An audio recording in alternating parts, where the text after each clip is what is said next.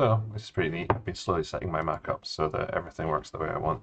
I thought for when I need to do virtualization, I'd try Multipass from Canonical. Um, you can install that from Homebrew. Just brew install dash dash cask multipass. Um, and it's basically a set of command line tools for starting up Ubuntu instances. Um, so uh, here we are on my Mac in a shell. If I do multipass launch, uh, well, if I do multipass list, I've got no instances. Do multipass. Oops. Launch. Main. Uh, we'll call it video. Uh, video. And then we'll create from its images a Ubuntu 22.04 instance. Um, you can install other versions of Ubuntu, create it, set up in a VM, start it running.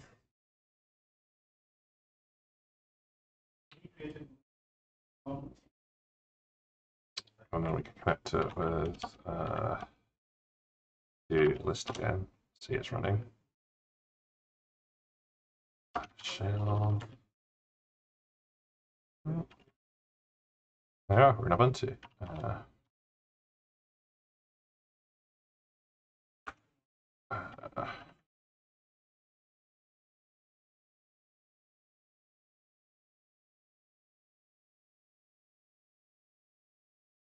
the sort of default instance is very small. It's got about a gigabyte of RAM. It uses a single core. Um, I presume you can control all of that from the multipass command when you create the instance. Yeah, it's Ubuntu.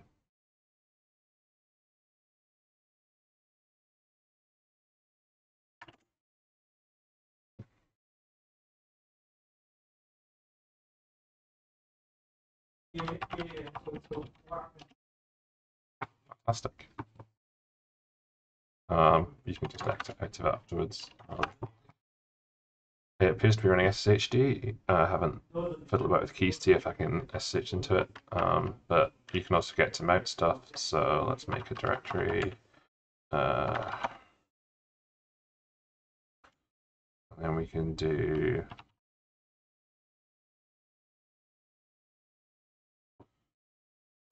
see I was testing this before. Great.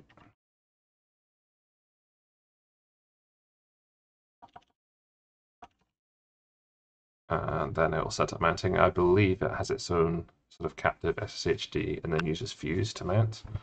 Um, so let's just write a file in there. Um, uh, shared video home. Load.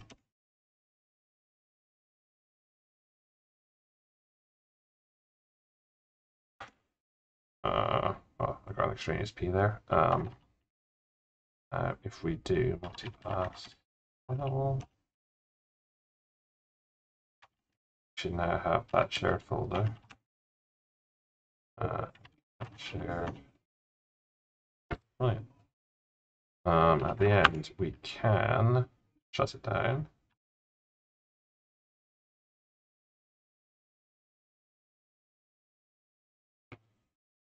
And then delete it.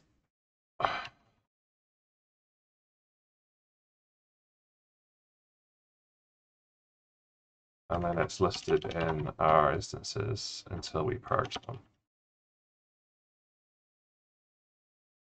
Oops.